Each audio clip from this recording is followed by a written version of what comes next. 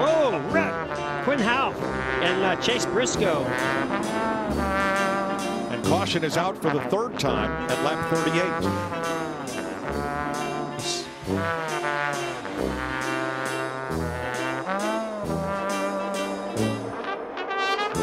Back there. Well, that's probably a wheel hop situation. Locking up for Quin Houff and makes contact with the 47. Quin Houff's.